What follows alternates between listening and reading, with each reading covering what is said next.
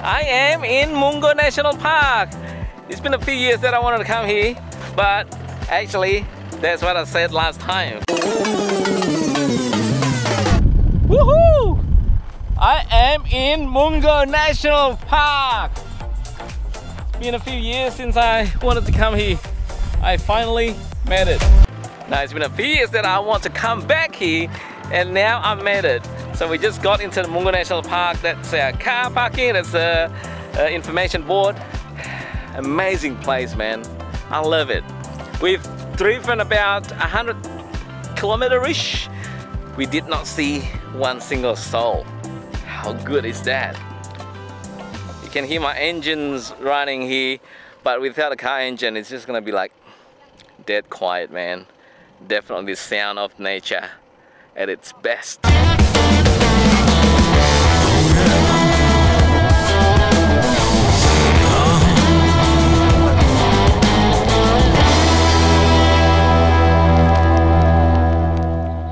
When we left Sydney, we didn't book anything because initially we were contemplating whether we should go to Hay. So we decided to not to book anything because then it gives us flexibility when we feel like okay we're gonna just like dock in here wherever we want to go. That makes it easier for us because availability will be plenty at this time anyway. So um, we end up in Griffith. Um, so we booked in in this motel. 41 degree at the moment man. It's so hot. So we just chill in the um, room just getting ready for lunch the late lunch by the way. It's uh, 4 p.m now and heading up to Mungo National Park tomorrow. In Mungo National Park tomorrow it's gonna be even worse. It's gonna be like 41 degrees, man. We're going camping, so it's gonna be fun. But all in all, uh, we're gonna enjoy the night today and uh, we're gonna have a nice uh, lunch for now. What is that, darling? Rendang. It's beef rendang, and you know we brought rice cooker as well.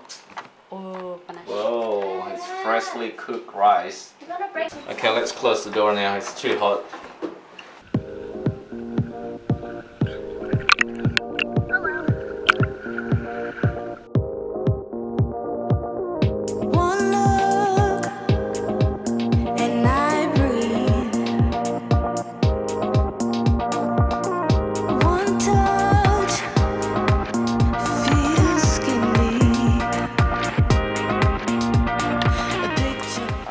I'm in the Hermit's Cave lookout. So this is up on a hill. It's a very rocky path to get to the lookout. So let me show you the view. That's the view. Like a new housing estate down there. At the moment it is 38 degrees or probably 37 but there's some nice breeze happening so I wouldn't mind you know if it's like stinky hot without any breeze then that's that's what's gonna be like pretty bad. But I reckon that's what's gonna happen when we get to Mungo today. Alright, the Hermit's Cave Heritage Hiking Trail. Okay so let's go down the path. The chapel to the right hand side. Just that. And what else? The loop track and the main cave. Let's try to get into the chapel see what's in there Ah, just go down. Just wedge between the two rocks there. And this is actually not bad of the view.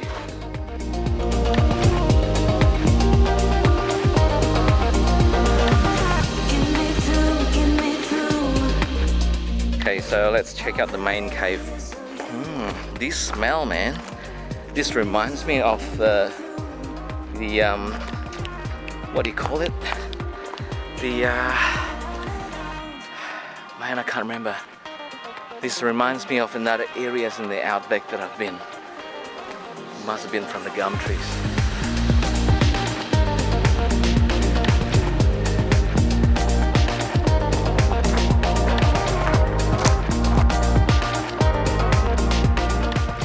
in the places like oops almost slip man in places like this you have to proceed with caution you know keep an eye out for wildlife do not disturb the wildlife you might come across snakes and if you do then leave the snake alone back off slowly do not engage what the heck is this my, there's a there's a cave here behind me. I don't know whether this is actually the main cave.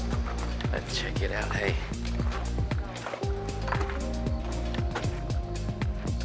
Man, these caves look dirty.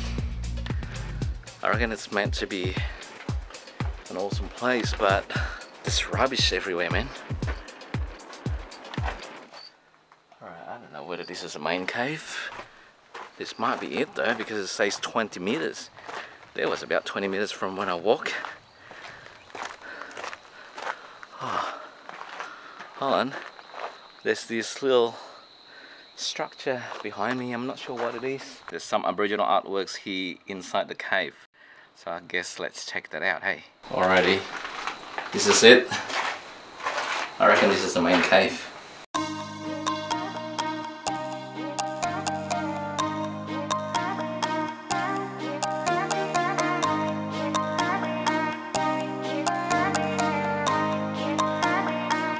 Oh, that's it, fellas. That's the main cave.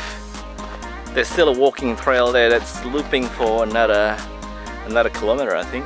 But I'm just gonna cut it up here. We're gonna have lunch. Beautiful view behind me, man. I love places like this. So serene.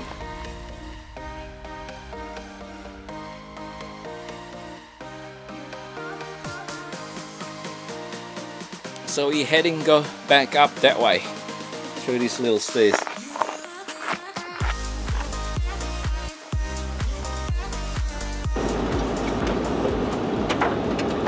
At the moment I'm only doing speed between 40 to 80 k's an hour especially when it's a daytime. There's no side shadows or the light's not angled from the sun so you can hardly see potholes sometimes. And also sandbanks sometimes you just go through um, a section where it's just like all sandy. It's going to slow down your vehicle to the point that you might not be able to control that. Plus you know because it's corrugated just like see it just like right now right?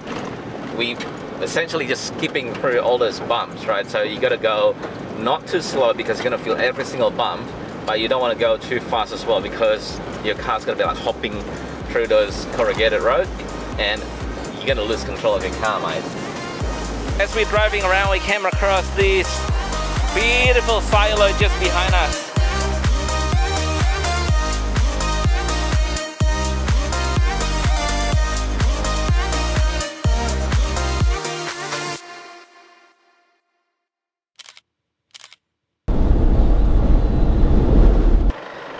Dust storm happening just all around us.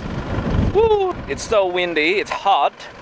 So I'm just hoping that it's not going to be too bad in our campground, in our campsite, because otherwise we're going to have to secure our belongings and food so they're not getting dusted, you know? Mungo National Park, there's no food, there's no restaurant, there's no fuel in Mungo National Park. So I thought I was just going to point that out for you. I think when you go to the outback like this, you know, the the weather can be like going from one extreme to another extreme so you just have to come well prepared for the situation. Okay let's start driving again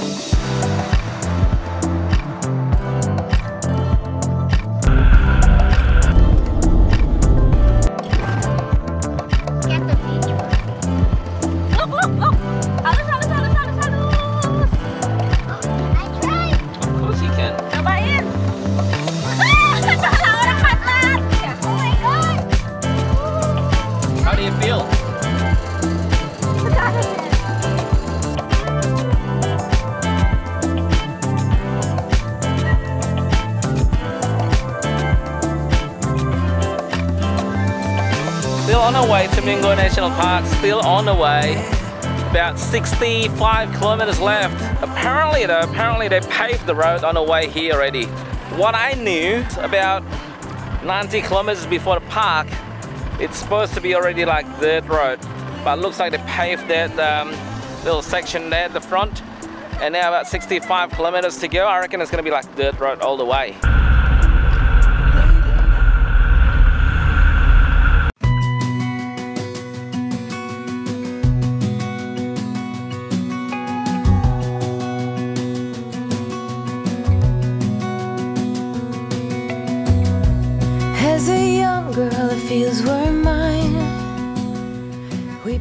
We got into Mungo National Park in a campsite. I just parked there. It's nice and quiet. There's another two people camping in this area, so it's not packed. And the afternoon light's just beautiful, just right behind me. It's gonna be fun, man. I love this place.